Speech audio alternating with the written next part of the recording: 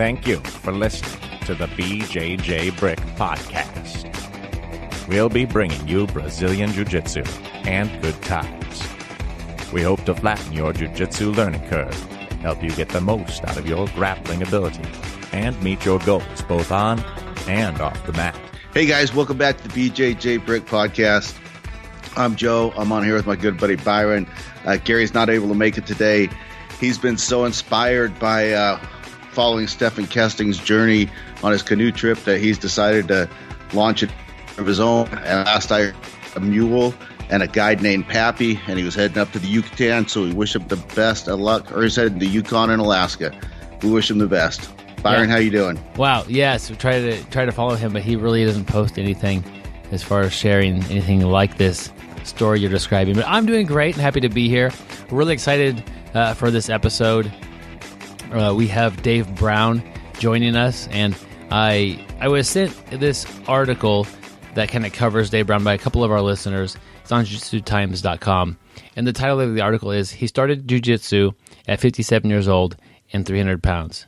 He's now a 61 year old athlete at the top of his game, and that's true. Like he, this guy, David, is fit as a fiddle.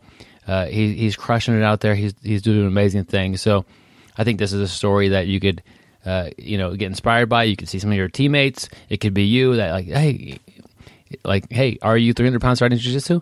That's okay.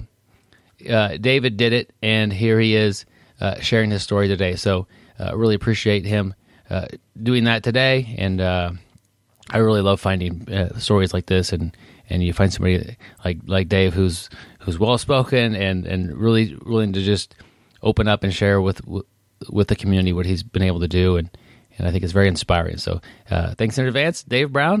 That'll be coming up shortly here. Yeah, I mean, how many times have we heard somebody at 37 wonder if they're too old to start jiu-jitsu? And here this guy started at 57, so definitely an inspiration. I wonder if he had any help his first year, Byron. You think he had any resources? Uh, maybe he had a game uh, your first year of BJJ. Would that have helped? Uh, yeah, I don't know uh, if he had anything, but I'm sure he had some help. You're, everybody needs a little help their first year, and, and most of the times you you lean on your coach and your teammates, and uh, maybe learn a little bit of one or two things from a podcast, something like that. Uh, also, another resource for your first year of training would be an audiobook made by yours truly. Uh, your first year of Brazilian Jiu Jitsu. It's about two and a half hours long. It covers everything from finding the right gym for you all the way up to if you want to compete and enter a tournament. So it's kind of a wide range of topics that you'll uh, at least consider your first year of training. And I want to help you smooth out some of those rough spots and, and get through that. Because I really think if you could do a year of jiu-jitsu, uh, you've unlocked a enjoyable activity that you've gotten reasonably good at and that you'll be able to do for the long term. So get you past that first year, get you on the mats having a good time. Uh, the audiobook is eleven ninety nine, and the money goes to help support the show. Uh, there's a link to it in the show notes, so check it out. Your first year of Jiu-Jitsu audiobook. Yep. Once you get past that first year, you're well on your way to a lifetime of jiu-jitsu. So it's important to get that first year under your belt and uh, get off to a good start. That brings us to our off the mat lesson of the week. Um, Byron, you know I've been building a little bit of a skate park in my house, right? Oh yeah, Yeah, yeah.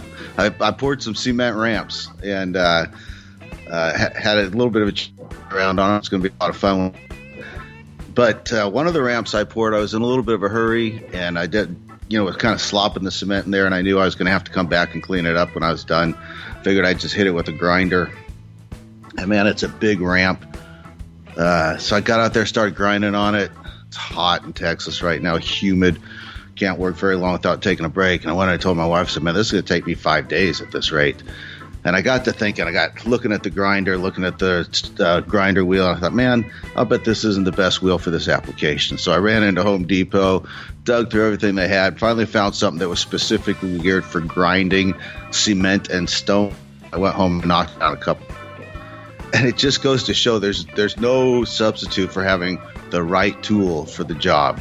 I'm thinking about jujitsu, and and uh, I think it's a good idea to sort of specialize in some things, get good at one or two things. But um, if if you're uh, grappling against somebody, you're training with somebody that just has really good choke defense, hides their neck really well, you could take that opportunity to work on choking somebody that's really good at defending it. or you could start to look for another tool. Or maybe they're exposing an arm at the way they with the way they're defending their neck. Maybe they're uh, uh, letting up on their base a little bit. You don't get a choke from the guard, but you get a sweep. So it's important when we're rolling to, kind of realize that there's almost always a best technique for me in any given position. And and if you find that technique, just like the grinding deal, it just became almost effortless. You find the right technique to accomplish what you need to accomplish, and then it just gets really easy. Yeah, it, it, it reminds me of like the only tool you carry is a hammer. Everything looks like a nail. so finding the right tool, like if if the only thing you're thinking about, and you get my back, Joe, you're mostly thinking about applying a choke, and I could I could defend that very very you know competitively and really make you work hard for that. But oftentimes the armbar is right there, and so Yep. like yeah, take make it easy on yourself. Or you know, there's nothing wrong with developing that choke offense that you could slice through a solid, uh, you know, a defense. So working that is it's not wrong, but it's sometimes if you're just wanting to, uh, you know, get that submission or, or work on, you know, just offense in general, the avenue I- of re- I- least resistance is very nice. Yeah, I think in jiu-jitsu, I, I think it's very valuable to to work on a choke against somebody that's got really good choke defense. But I think ultimately the the goal is to get from a bad position to finishing the fight as efficiently as possible. And sometimes have to practice that. And I think finding the right tool for the job comes in handy. Kno- knowing what what's your shortest route. If if you don't like being in your opponent's half guard, you'd rather be on their back. What's your shortest and, and quickest route to get there? What's the best tool? And uh, yeah, I just think it's a it's a good concept to keep in mind. Yeah, uh, yeah. Thank you for sharing that. I didn't realize you were building quite a. Uh, you undertook quite the uh, the project there, Joe. I'll share videos. It's, it's, pretty, it's going to be pretty extensive. So having a good time now with you my can get hurt and banged up in your own backyard. yeah. that are going to a skate park. but that's my experience with skateboarding. I just fall immediately. but you seem to be doing uh, very well with it, and, and so is he. He's picking it up and having a great time. So that that's cool. Uh, got a, I guess it's a quote, kind of an old. It's an old fire uh, fighter saying, and it describes the fire service. It says the fire service is 150 years of tradition, unimpeded by progress and that's an that's an old saying, and it's definitely not like true literally, but there are traditions that that we have that really don't help out. There's not a lot of them, but but you know I don't know how long ago before my time, but people were struggling to make changes because you know changes is not tradition. Traditionally, we've done this at the fire grounds, and and now you wanted us to look at you know learn into to this new technique maybe or or how to how to approach uh, attacking this fire. Well, we've always done it like this. So with 150 years of tradition unimpeded by progress, even when there's a better way, uh, th- that saying doesn't hold true, but it it does have some uh, a hint of it's really hard to get people to to make a, a move even when it's for the better. And I think that you look at jiu-jitsu, you could say that yeah, say the same thing, but I don't know 150, you know, X amount of years, and some but some traditions hold true that are uh, maybe questionable as far as is this right for the sport or right for my gym? And you could think about I don't know. Uh, I I hesitate to even say belt whipping because that's not even a tradition. That's a thing that was started not that long ago and, and kind of took off. And I think it's died back quite a bit getting whipped by belt when you get promoted. But there are some things like not washing your belt would be a maybe a tradition uh, that that clearly you know moving forward having a into the future that's not going to hold up. It's it's a ridiculous tradition.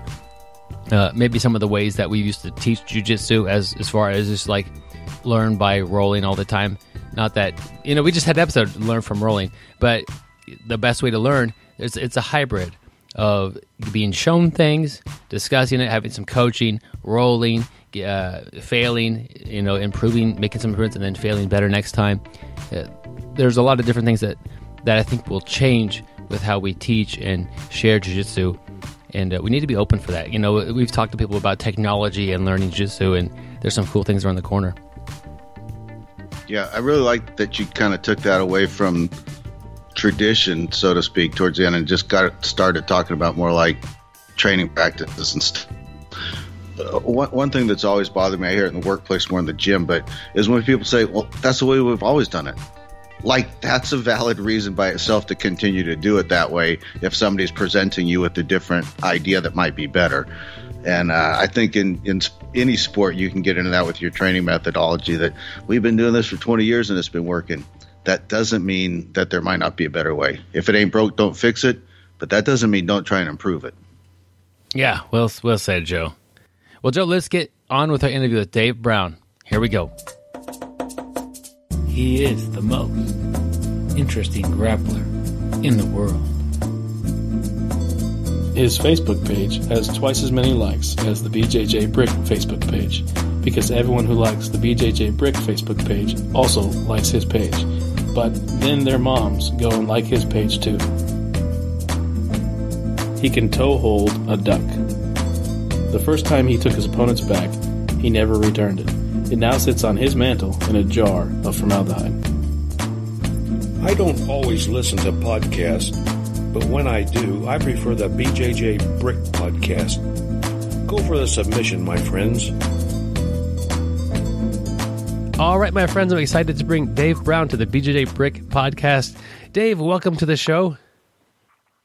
Oh, thank you. Glad to be here. Yeah, glad to have you. I uh, was first pointed towards you by a couple of our listeners who uh, read an article on jujitsutimes.com, uh, and, and it, it the, the, article simply states that you started at 57 years old at 300 pounds, and, and now you're 61, and you're you're one of the top athletes in, in your division. So uh, that is a uh, is kind of a short story of who you are. But tell us a little bit more. Uh, who who are you? What you're up to? Uh, well, I uh, like I said, I started at 57. I years ago, many years ago, um, as a young person, I wrestled. So I was uh, jujitsu was definitely something that I you know would enjoy. I realized right away. I went to a um, uh, my first introduction to uh, jujitsu. I went to a NAGA tournament that my son was in.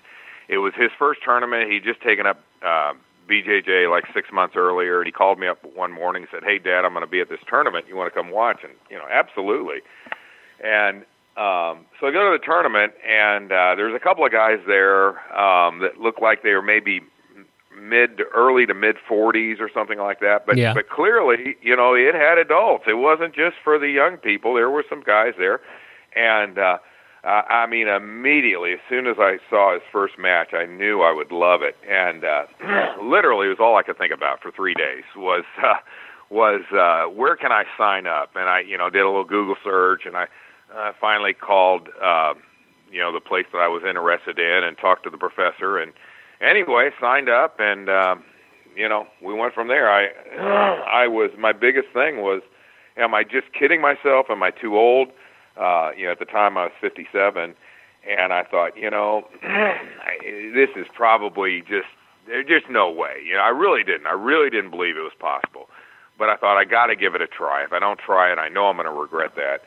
So uh, anyway, so I did, and uh, um, you know, it took a while. It took uh, it took uh, probably a couple of weeks, I'd say, maybe two weeks before I could get through an entire class without sitting out. You know, I was that I was so out of shape. But uh, eventually, I got to where I could get through an hour class, and then you know, next thing you knew, I was doing th- two or three a week, and pretty soon now I can do you know five, six a week. Wouldn't be a problem at all. well, that, that's awesome. Uh, h- how important do you think it was, looking back, that there were uh, not just kids and some adults like in their 20s and 30s, but there were a few guys that were a little bit older that you're like, well, these guys are doing it was that was that pretty fundamentally thinking in getting you on the idea that, that this could maybe be for you? Yeah, absolutely. I mean, I looked around, and most you know most of the people in the tournament were in their 20s and 30s, and of course they had you know kids too. Um, but at the time when I was there, they were running the adults. Uh, but there were a couple of guys, and you know, I asked, "Is there an age limit?" No, no, no age limit. Uh, well, you know, if they can do it, uh, I'm gonna give it a try. And I, you know, I was fair, you know, another 10, 15 years older than those guys, but I thought, well, you know, I'm not, not. I don't think it was uh, out of the range of possibility. Let's put it that way. I really didn't think it would be that I could do it, but I thought, well, there's a there's a possibility. So, yeah, that you know that made a difference. I was glad to see that there was a sport that it involved that where older people could participate if they, you know, if they wanted to and felt up to it and so on. How much did your wrestling background uh, come back to you? Well, you know, at first I thought, well, there, this isn't going to help at all. It was 36 years earlier that I had wrestled, and I thought, well, there's no way this is going to do me any benefit um, because I'd forgotten everything. I, I, I, I literally I hadn't done it in so long that I, I couldn't remember anything. But you know what it's like? It's like a foreign language. If you if you say you were fluent in a foreign language and then haven't used it for a long, long time, um, yeah, you forget a lot and so on. But you start using it and it comes back so quick. It, it's it's just like uh, you know the brain controls uh, our language. The brain also controls our motor skills, and it's the same thing. It's exactly the same thing. So. Um, my wrestling uh, background, I think, really did help a lot. Still does. I still do things. Sometimes I do things just by reaction, and it works out beautifully. I think, uh, God, I don't remember doing that, but uh, um, where'd that come from? You know? Yeah. uh, So how just to dive a little deeper into that, how much did you wrestle? I mean, how how that how'd your wrestling career go? Well, I, I wrestled uh, through college, Okay.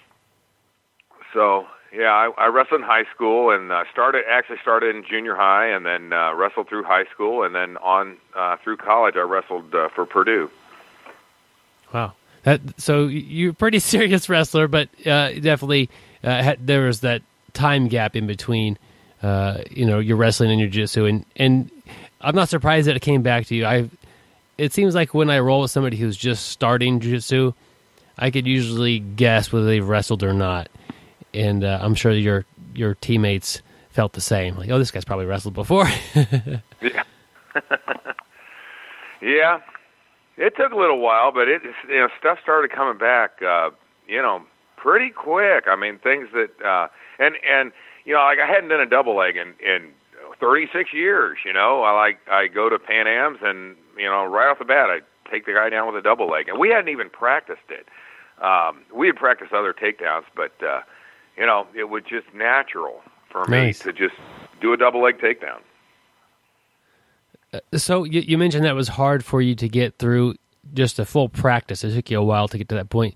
How describe to us a little bit how out of shape were you? Were you doing anything physically before you decided to hop on the mats, or did you get in shape before that? Uh, no, actually, for 36 years, I sat in front of a computer all day. Uh, you know, I have a desk job. I'm an engineer, structural engineer, and uh, really hadn't hadn't been real active since uh, since college.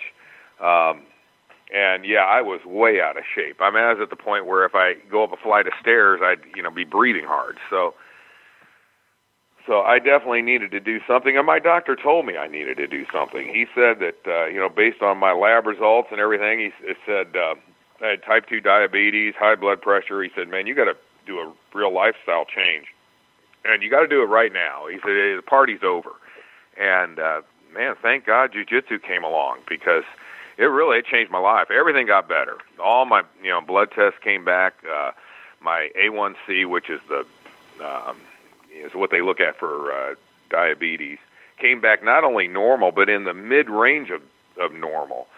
Um, high, my blood pressure went down. All the numbers got better, like almost immediately. So much so that he sent me to a cardiologist. He said, "Man, when we get that big a change in your heart, he said, I know it's all good. He said, I know everything's gotten better, but he said, anytime we get a, a big change, we got to send you to a cardiologist. He said, I'm, you know, like 99 or 90% sure that it's, it's all good and that it, what it's from, it's from your exercise routine. But I just want to confirm that. And so, you know, he sent me to cardiologist. He said, oh yeah. I said, that's, you know, you- you've done exactly what we tell our patients to do. Your my pulse rate went way down, went down to the uh, upper 40s, where I think before it was like 70 or something, Wow. which even 70 wasn't too bad. Um, but when it got down that low, my doctor got kind of concerned. He thought, "Man, there's something is is something wrong here." uh, and the cardiologist said, "No, absolutely." He said, "If you uh, you've been working out like that, then yeah, your your heart rate will come down." Dave, was there any concern at the beginning of of getting into jiu-jitsu that you might overdo it? And you know, like your your doctors mentioned, you had a, a risk of having a stroke or heart attack. W- were you were you not getting through the full classes because you were tired, or were you saying I better back off a little bit? I need to be be safe with with what I have. No, it was just because I was tired. Okay. I just, in fact, I even asked my doctor that. Now, I didn't tell him right off the bat I was in jujitsu. I, I, I started jujitsu. I go see the doctor every six months, and I want to say within like two months, I went to see him. You know, the the next my next appointment was like two months later. So I hadn't really lost a whole lot of weight. I had been working out, but uh, you know, only two months. And I asked him. I said, "Can you work out too much?" He said, "No." Don't worry about that. so, all right, all right. I didn't tell him what it was. I just said, can you work out too much? I was a little concerned about that, but man, he said that. I said, hey, you know, um, the thing is, your body um, will uh, temper things. You know, when you're too tired, you're going to sit out, and uh, that's what I did. Wow, I, Dave, I, I know a lot of uh, guys. Uh, like I guess between our age I'm I'm basically I turned 40 here in a little bit, and that that, that do not go to the doctor. Uh, a lot of guys just they, they, go 10, 15, 20 years without seeing a, a physician. Uh, is that what, were you in that boat and you went in and, and he was like, dude, you got to get your health under control, or were you going, you know, every year or so and and just kind of uh, sailing along like that? No, I was definitely in that boat. I didn't go hardly at all. My wife used to get on me all the time about going to the doctor, and uh, anyway, our uh, insurance changed, and I had to change doctors anyway. So I can't remember. It was like uh, it was probably a couple years before I uh, uh, started uh, BJJ, and uh, um, I went to this doctor, and uh, and he told me, he said, "Man, you got to do something." Uh, he said, "I, you know, in the shape I was in." And he said, I want to see you every six months. And I finally decided, you know what, I'm just going to do that. And uh, so anyway, since then I've been going to see him every six months. Um, and you know, not much changed. A little bit, not much until jujitsu, and then everything changed. I, I hear a lot about the difference between, um, you know, great workouts and also uh, a, a, much better diet. How much has your diet totally changed, or is most of this based on you just get on the mats and, and just working really hard? Well, at, at first, all I did was jujitsu, and I started to lose some weight. Um, and then, of course, the professor and others, you, you know, talk about good diet and so on. So I thought, you know, I'm gonna, uh, I'm glad I'm losing weight. Let me, let's see about encouraging this by trying to eat a little bit better because my professor's really big on uh, nutrition and eating right. And uh, so I kind of looked into it and. Um, anyway, I did change my diet. Uh, the biggest thing was I cut out sugar to the extent possible. Uh, I had no idea how much sugar there was in all these products. Milk, I didn't know milk had that much sugar in it. Um, just all kinds of things. When you start reading labels, it's shocking. So that was the biggest thing is I cut out as much sugar from my diet as I could. And then I try to keep the carbs down. I'm not on any special diet. I don't count calories or points or you know, Nutrisystem. I got all these things. I don't do any of that. Um, uh, just eat reasonable amounts and try to eat healthy food, and it makes a huge difference. It really does. Because when I started doing that, then it really started coming off. Between the exercise and the eating right, it really made a difference, and I feel a whole lot better. What was it like your first couple of uh, classes? Like, like you go in there. Were there any guys about your age, or was it are you a room full of young young men or or young men and women? What, were, what was that that first uh, few stages like? Uh, mostly they're young guys. You know, uh, we got some young gals, um, but mostly you know guys in their twenties and thirties. Um, there was one guy. Um, he still comes. He he usually goes to a uh, earlier class than I do, but uh, that was actually a couple years older than me. Uh, everyone else was younger. There were some. Uh, there's you know a couple that were around in their 40s, you know, but uh, mostly they were you know younger guys. how how did the uh, idea that you wanted to go compete? Did that something you brought you brought in when you walked in the door? Like my, I, I saw my son compete at NAGA. I want to start competing in jujitsu, or did you just want to try jujitsu and it was introduced some other way? I wanted to compete the second I saw the match. My first match. That was all I wanted to do. I, I had no interest in in practice or any. You know, I wanted to compete. I mean, that was from day one. Uh, immediately, it was. You know, I hadn't competed on a mat in 36 years, and the idea that I would do that again was just. It was just this overwhelming desire. And so. Um, so from you know the second I saw it, that was the goal, and that's what I told my professor.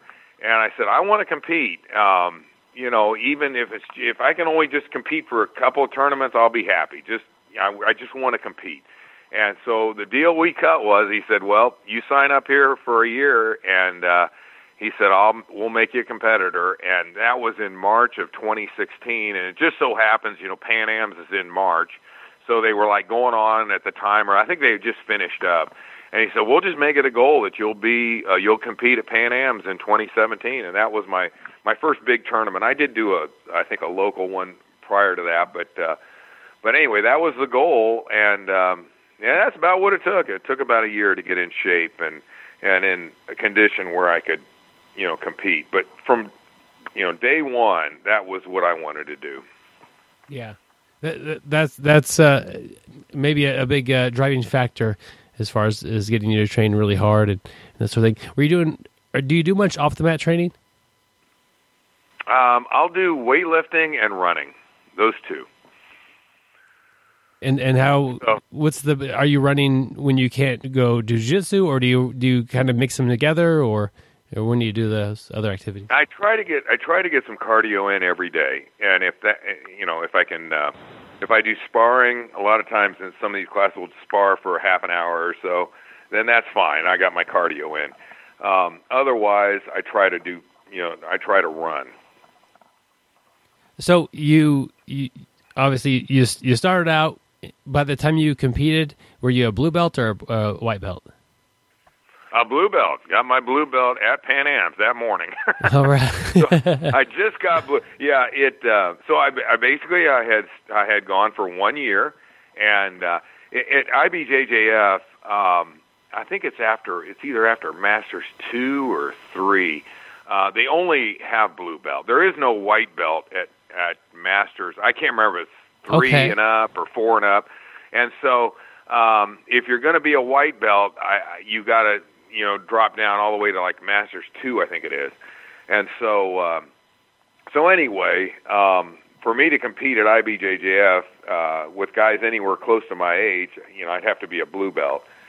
So that was the goal, and uh, you know that's what happened. And then you, are now a purple belt. What's what, when did that happen? That happened. Uh, what? Uh, let's see.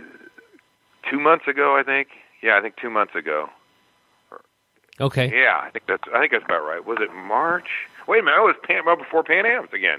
Okay, so yeah, then I was a blue belt for two years, and then uh, and then Pan Am's in 2019 because I, I did Pan Am's at 2017 and 18 as a blue belt, and then the week of Pan Am's this last time, which was March of 2019. Uh, earlier that week, I got my purple belt, and then on um, at the end of the week, I um, you know, participated in uh, Pan Am's 2019. Uh, Dave, I forgot to ask you, uh, where are you training at, and, and who's your who's your coach? I train at Halcyon Jiu Jitsu, which is uh, in Spring, Texas, and uh, the coach is uh, Matt Smith. All right, and you started this watching your your son do a NAGA. Does your son still train? Yes. Uh huh. Where do you get much mat time with him? Is he does he live near you or?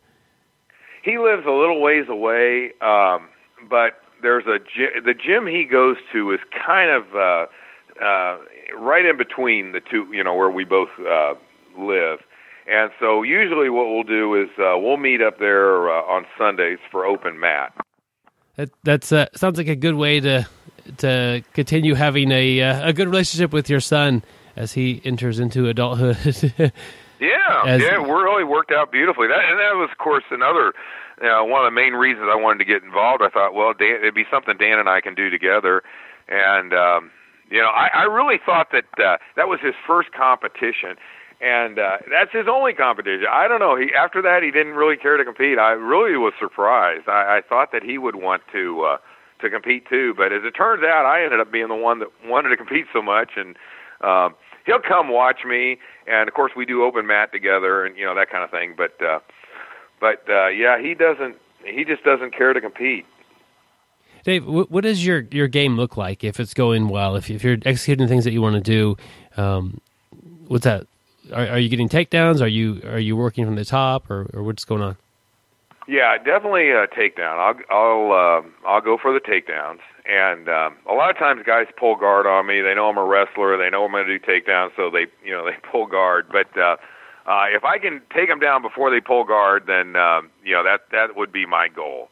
Um, and then once on top, uh, you know, just try to improve my position, get the mount, and uh, and a submission, usually with an um, an arm bar, an Americana, a Kimura, something like that. That's that's usually what I'll go for. But um, oh, every now you know I'll get some chokes. I've done you know certain chokes and so on. But that's that's primarily you know my game. I, I like to be on top. I you tend to do better on top. Are you pretty much exclusively gi, or do you do much no gi? I do no gi. Yeah, usually the uh, at the bigger tournaments uh, we'll do no gi. Um, I don't do as much, but um, but I'll, I'll do no gi. Which which do you you, you train more gi, or are the, is it pretty much a mix? Um, mostly gi. We we have one class a week that is no gi. if you if you had a friend in a similar situation, um, you know, mid to late fifties, who wanted to start jiu-jitsu, and let's just say they, they didn't even they didn't have that wrestling background, they were just wanting to get in better shape. Uh, what kind of advice would you give them to to get a good start at jiu-jitsu? Well, I'd say uh, definitely give it a try. Um, I mean, go into it with an open mind. Uh, give it a try. Um, you know, don't feel like you have to, you know, push yourself real hard. You know, right off the bat. Uh, nobody cares. I, I was one thing. I was, I thought, man, I'm going to go in there. It's, I'm going to embarrass myself. I'm going to look terrible. Yeah, nobody cares. That's the point. Nobody cares. Uh, they're just happy you're there. Uh, they'll be very supportive. They'll help you. Um, if you need to sit out, sit out. You know, uh, it's no big deal. Um, but just hang in there. Don't don't give up. You know that first after that first uh, session, you'll wake up the next morning. May have a hard time getting out of bed. You'll be so sore, but uh, um, you know, give give it a couple of days. Let your body uh, that soreness out, and then just keep going, and uh, it'll get better. And uh, you'd be amazed at how how much a difference it can make. Yeah, I think we've. If you enjoy jiu-jitsu, I think we've found kind of a, a cheat to staying fit, as in you don't have to drag yourself to somewhere to exercise that you dislike. It's it's rather fun. The the activity of it. Usually, you're surrounded by friends as you as you're training because you get close with with uh, with the people on the mats, and it's just it's kind of a. I feel like I, I don't have to go work out. I just go do jiu-jitsu, and I happen to get a good workout when I do that uh, I, I can't always motivate myself to go work out, but I can always I'm always happy to go train jujitsu. Yeah, yeah. Going to the gym, just the standard gym to weight lift or run on the treadmill. To me, it's just drudgery, you know. Uh, but now I can go to, I can even go to the gym and weight lift, and it's more fun because I'm doing it for a purpose. Yeah, that makes. I'm doing it to be a better competitor. And so now that I've got that goal out there, um, all of a sudden, it, you know, it's not so much of a drudgery. yeah that that makes that makes sense to me. Uh, you, you mentioned about you know not wanting to go and and to get embarrassed, and we've we've talked about on the show before. This this rule is called twenty. 40 and 60 rule. When you're 20, you care what people think about you and you try to, you know, make that happen. And when you're 40, you don't care what they think about you. And when you're 60, you realize nobody thinks about you, they think about themselves. Yeah. so so th- there's really no reason to be nervous about what people are thinking about you when you start jujitsu or when you're in the gym working out if you're lifting not enough weights or if you're you're you're running slow or whatever nobody's worried about you they're worried about what they're doing and uh, Yeah. that's that's something that I think the sooner you l- realize that, the easier things get for you. Mm-hmm. Uh, same thing, you know, advice for somebody who has never grappled. So s- switch it. Like if you were to give yourself advice when you when you started, um, what would what would have been the advice to get you? Uh, I, I guess you had a great start anyway, but if you could give yourself advice back when you were just starting, just what would it have been? Oh, I'd say uh, take it slow, tap early. Yeah, Don't worry about tapping out. Tap early, or real early. Don't you know? No sense in um, you know letting something go a little further than you should have.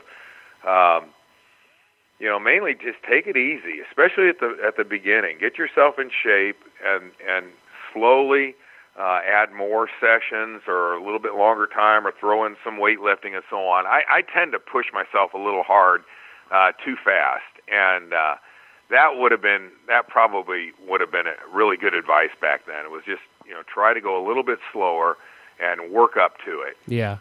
I like the, the tapping early. A lot of times, you it's just it's perfectly fine to tap to the uh, position of that submission. So once, like for me, I, I still tap earlier on Kimuras. So if you get a Kimura on me and your hands, both your hands have good grips, uh, I'm, I'm usually happy to tap right there. Or if my Yeah. like it's okay to tap to an armbar while your arm is still bent. The position of the armbar is good. You, you're, can't really escape this. It's fine to tap and not have to have your elbow hyperextended. hmm So yeah, that's tap early is is great advice for anybody starting. Have you ever had uh, an injury yet in jujitsu? I tore my MCL was the was the uh, the biggest one. Oh, recently I had a little uh, oh, torn uh, tendon in my finger, and it's it's getting better. Um, it's a whole lot better now. Um, but my MCL that put me out for uh, oh man, that put me out for several months in that first year, and it it was uh, I just couldn't do anything. I, I'd go to class and just uh, watch uh, for like several, let's see, al- almost four months. It was, uh, and it was just, you know, nobody had done anything wrong. We, I was just uh, uh, sparring, and I just uh, planted my foot and pushed off of it really hard, like uh, uh, bridging, and uh, man, it just popped, you know, and it tore. So it can happen, and uh, I now watch it. Right, I've gotten better at uh, knowing uh, what not to do, and and you know, watching certain things like that knee. I don't. Uh, there's certain things I just I won't twist it certain ways, Yeah, and I haven't been hurt, I haven't been hurt since. that that that's good. It's that, that- that's an important thing as well to to to protect yourself and you know you're you're now in in great shape. And I urge everybody to go look at the the pictures in the article, uh, the transformation you've had, just life altering changes. But you also don't want to uh, damage your body in the process. I mean, so so being able to protect yourself on the mass is, is also very important. Uh, Yep. you you mentioned you're an engineer. Have you seen any? Have you learned anything in your career that you've brought to jiu-jitsu, maybe a different angle or a different thought than most, or maybe vice versa? Have you learned something on jiu-jitsu that you've taken to work? Huh. Well, you know, um, as a structural engineer, uh, we uh, concerned about forces and what they call moments and things like that. Yeah, and that actually applies in jiu-jitsu. Uh, pressure points and and how you. Uh, um, oh, it's hard to explain here. Uh, there, it, it actually does come into play somewhat. Yeah, seeing how um, how you can uh, best uh, use pressure and um, in a way to uh, overcome uh, certain holds and so on. It actually does. It, it's and, and there was a there was a professor at uh, who is he with Mavens I think, and he put on a little seminar. He was a uh, he was a math teacher, and he was uh, he gave some really good examples of uh, jujitsu and geometry and how to use that. And I thought it was fascinating because it, it was really true, you know, about uh, oh, just the the the fundamentals of sweeps and certain things and how we use uh, geometry. And if you can if you can see the geometry, you can see why we tilt a certain way and why we need to pull a guy, you know, a certain way. Um, and it really is true. It it uh, it's all physics. It really is. So um, eh, in some ways, yeah, I think it it I can see some of it. Yeah, like having a better understanding of physics than the average person would definitely help you understand why uh, you're able to off balance somebody or uh, why you're able to keep your balance in a situation, maybe. Yeah. Yeah, I think so.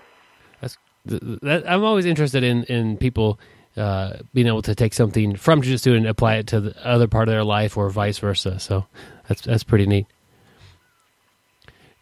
Do what are your goals for the the next uh, little while or so? Well, my biggest goal uh, coming up would be World Masters, and I definitely want to uh, get double gold. That would be my uh, my immediate goal, and that's what I'm working towards. Um, I have at least one tournament between now and then. I've got one in Austin coming up in I think two weeks. Um, I may do another one. Um, there's several that are coming up uh, before World Masters. World Masters is in August, and I'll get to. It's in Las Vegas. I'm going to get there about a week uh, ahead of time, and there's a camp at uh, Alliance in uh, Las Vegas uh, with Lucas Lepri. Um, and um, like two a day sessions for the week uh, ahead of World Masters. So anyway, I'm going to attend that. So I should be in uh, should be in pretty good shape uh, for World Masters. That's great. Um, so when do you, uh, knowing your body and, and your training schedule, it, that tournament has a has a date on it. Um, do you, do you just train the same all the time, or do you, like the month up ahead you're you're starting to alter your game plan a little bit, or you know the last couple of weeks you're doing things differently? Well, I try to do at least one tournament a month, and um, sometimes two. So really, I just about have to just train the same, you know, all okay. the time. So you're competing all the time. Yeah, and the week before the tournament, no weightlifting. So I don't do any weightlifting for at least you know seven days prior to an event.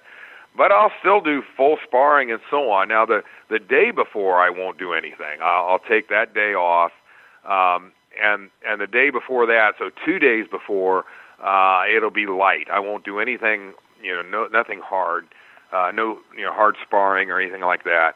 Um, and that's about the only change that I really make is the few days before a tournament, I alter it a little bit. Otherwise, I have to just keep going because you know I've always got the next tournament after that. I Yeah, don't take yeah. a, yeah, it's not like I take you know several months off or anything like that. I just keep going. I'm trying to get in as many tournaments as I can while I can. Okay. Because I, I mean, I know that yeah, there's no way I, you can do this.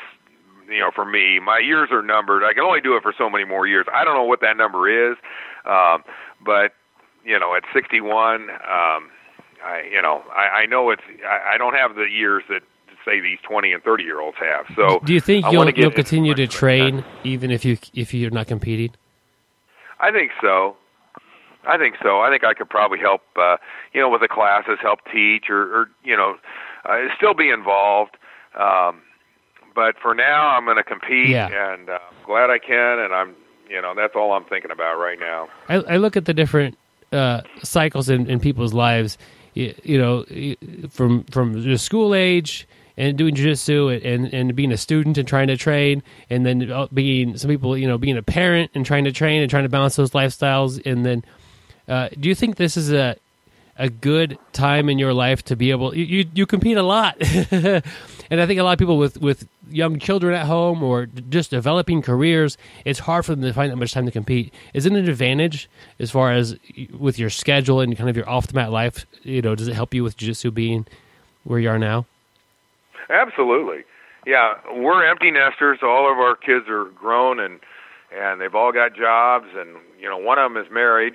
Um so, you know, we've got a lot more time on our hands. The other thing is I um I'm a business owner and my uh so my my uh the business pretty well runs itself. It uh I've got a great group of guys here that uh can handle it. So that that frees me up um you know, I can uh, take a lot of time off and off from work and um so it it's really helped a lot i did i guess my what i'm saying is my time is much more flexible than back when uh, you know we had small children and so on. It's just a lot lot tougher to to work uh, jujitsu into your schedule with all the things that a family you know has going on. So that yeah, that has definitely been a big help. Yeah.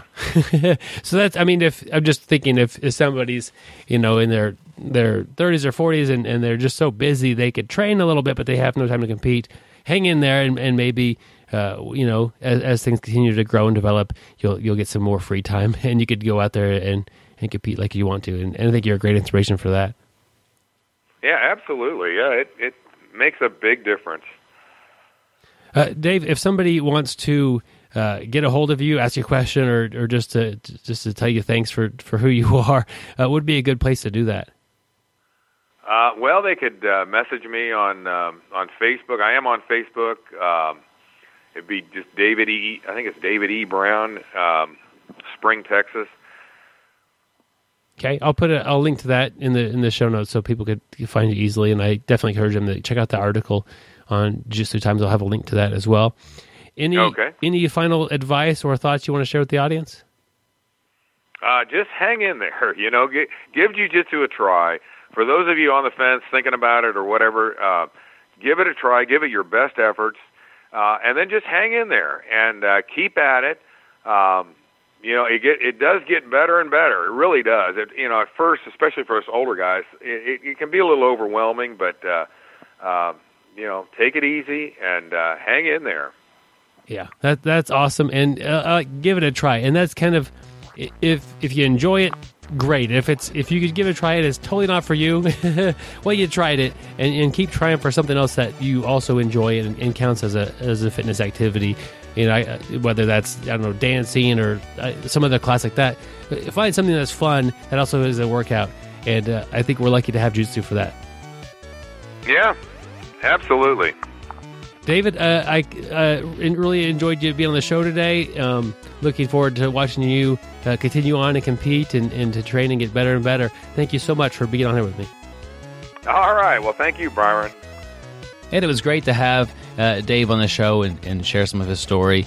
And, y- you know, Dave, he comes with a strong wrestling background, and that definitely helped him transition to uh, doing well on the competitive mats. But it really doesn't matter he's he's I, I, promise you he's burning more calories training than he is competing although he competes all the time. He's competing like once a month. That's that's crazy. But he, he's the reason why he's fit is he's training hard and and I guess the fuel for that is he wants to compete well. But if he would go out there and not do well but continue to train hard and, and to do and do all things he's doing, he's still going to be a super fit guy. Like his body doesn't realize if he's winning all these tournaments, he's got tremendous health benefits. So if, if you don't have that tremendous wrestling base, you're thinking about jiu-jitsu, it it might be a little bit of a tougher start, but that doesn't matter. It's it's still going to be an enjoyable process. You're still going to get better. There's leaps and bounds of, of betterness that you could get uh, in even a short amount of time. Uh, it, it, you know, you could experience that, and it, and it really feels good. And the health benefits for a lot of us are like a secondary benefit. I get to go hang out with my friends for an hour and a half, and as a side note, I get a really good workout.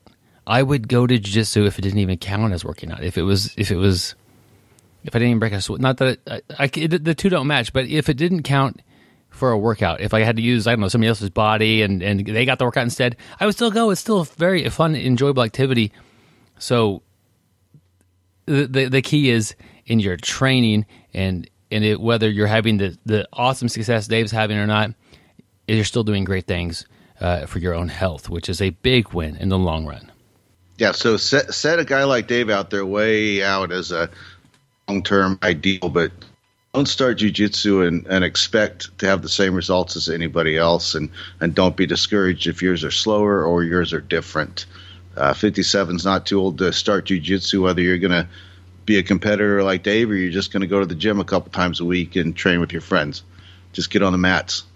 Yep. We've got a question in here, and she wants to know about uh, recommendations for somebody who's got a little over a year of training. And she wants to know what should she be working on? Okay, that's a very broad question as far as if you don't know the person and if you you haven't spent mat time, whatever, like a question over a pocket, what should somebody with a year of training be working on? But I do feel that there are some areas we could help guide here. Uh, do you have any ideas about this one, Joe? Well, I think at a year, there's a couple things you should be starting to do that you weren't doing at six months. One of those would be to start to understand how uh, different positions and different techniques kind of fit together. Um, you know, have some transitions that go from st- sweep straight into a, a, pass or sweep straight into a submission. Um, you know, develop a little series like you from close guard for a Kimura, and if they defend that, you go for the sweep. If they drive back in, you you go for a guillotine. Just, just little things like that that fit together. I think uh, one of the things you want to start looking at. Yeah, that that's great, and it, it is easier to land a a, a combination of things because if if Joe attacks with an armbar, I defend that.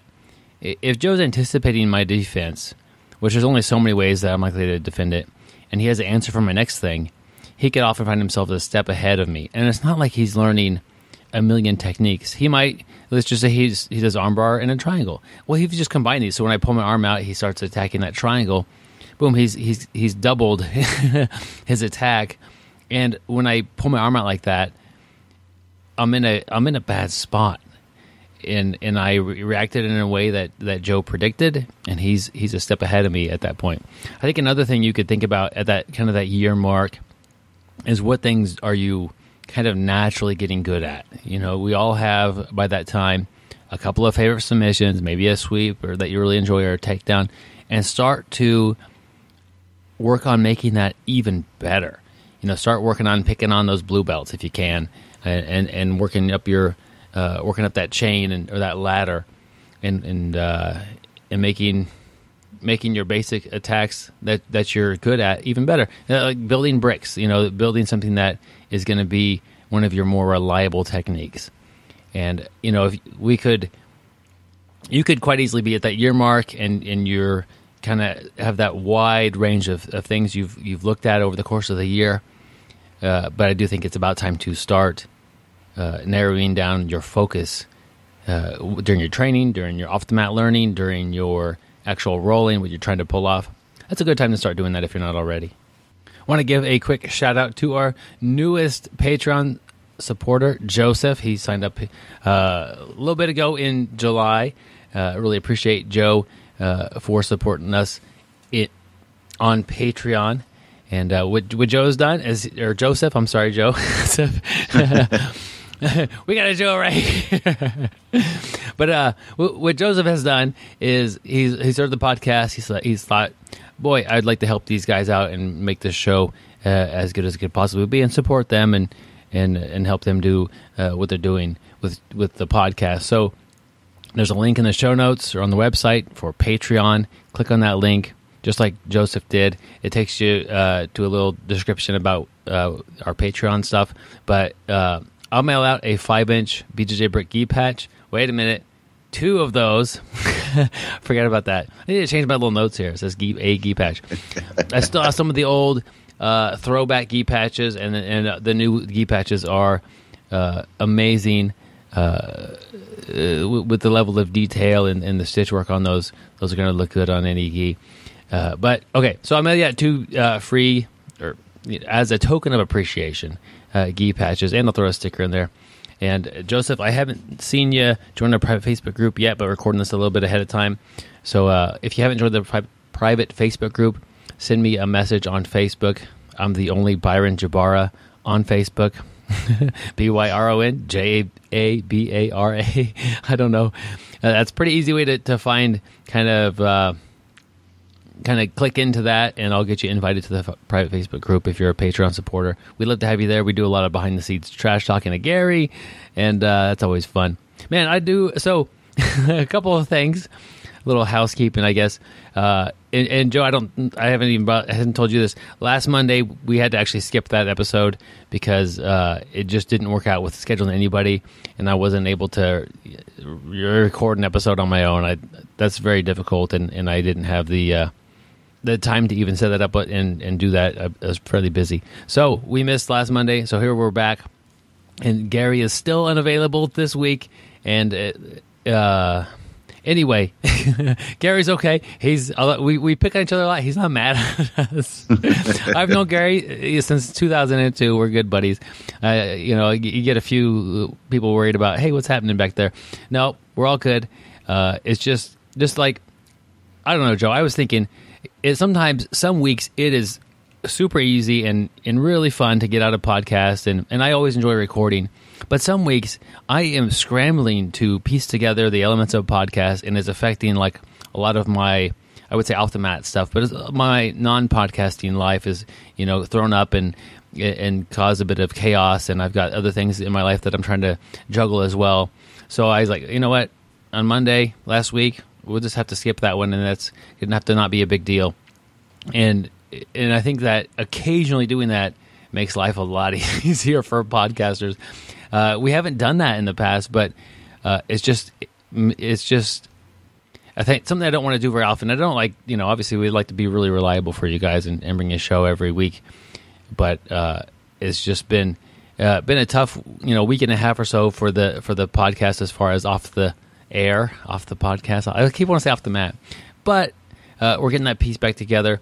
I do go on vacation in a little bit here. We're hoping to get a few episodes stacked up before I leave. Hopefully, we won't have to skip anything. But uh, if we do, I think it's just easier for long term podcasting if I'm not trying to try and like and stressing out other parts of my life and keeping everybody, uh, you know, keeping keeping my off the air life uh, good as well. So that's what happened. I didn't even tell you, Joe. Uh, we had to miss. Uh, we're missing uh, last week as far as uh, putting an episode out, just because it is just too tricky to get all the things figured out, and that's I don't know. I think that's okay. Yeah, I, I knew I was unavailable. I didn't know Gary was also. So yeah, uh, that's okay. I mean, like it should be. It, it shouldn't be a point where like you're scrambling to make it work and it's stressful. Like if we keep this enjoyable, just like jujitsu, we'll be able to do this a lot longer. If we start stressing about, hey, we really can't miss this week, and and and really, you know, making it uh, a pressure thing, I think that yeah. So, you ever read any of Stephen Covey's books? The Seven Habits of Highly yeah. uh, Average People. no. Have you read that one? I I can't remember. I read so many uh, books. I probably have. That's it. Yeah, I, I, read it. One of the things he talked about in there was uh, um, getting too busy putting out little fires. Okay. And sometimes, and sometimes you, and then a new one starting, a new one starting, and, and you're always three three behind. And sometimes you just got to step away from a couple of them and let them burn themselves out. And you know, you, you just can't keep doing that. And I think that's applicable to what you're saying, man. Yeah. If you're if you're chasing yourself and you're killing yourself trying to get a podcast out, then the next one's difficult. And take a yeah, that's that's uh, that's a good way to. I I forgot about that. but uh, but that's basically what's happening. I'm trying to get uh, to where we have. Uh, uh, th- we're, or actually, it'd be nice to be three podcasts up. So when I I, I do go on uh, this trip with my wife, uh, they all auto publish and, and everything is run smoothly. But I needed some time to get that kind of I guess the behind the scenes uh, stuff organized because I don't know. It, it, this may not be interesting to people, so we like to be super reliable. Uh, we'll try in the in the future, but occasionally, and, and like last episode, I did say, "Hey guys, just a quick note here, uh, we're gonna miss an episode next week." So I like to give you guys a heads up, so it's not a total shock. But anyway, uh, Joe, it's been fun recording with you today, and uh, and uh, we're getting ready to record another one. So uh, Gary won't even be on that one. but, what the deal is, at the end of the at the month we have our big uh, topic episode, and we definitely need Gary uh, to fill his uh, very tiny shoes that he wears. and so we, we want him to be there for that one, so we won't be able to record two that day because it's a long day of recording to pull that off. So anyway, uh, Joe and I are going to click off here. We'll come right back next week, but in reality, it'll be just a few seconds, and we'll record two episodes this afternoon. Anyway, stay sweaty, my friends. Uh, don't forget to shower, train hard, Train, Train smart. smart. Get better, guys. We'll see you on the mats. I, I forgot to mention that uh, Nikki Sullivan, uh, uh, Atos Black Belt, uh, will be uh, our interview next week. So really excited to bring you guys Nikki. It was a great interview. Thank you for listening. I hope you find the time today to roll. After all, the best way to get better at Brazilian Jiu Jitsu is to do Brazilian Jiu Jitsu.